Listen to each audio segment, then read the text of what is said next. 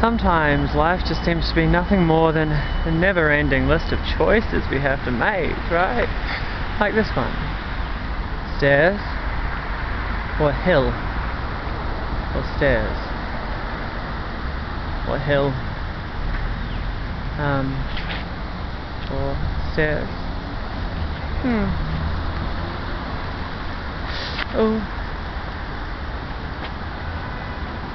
Oh. Uh.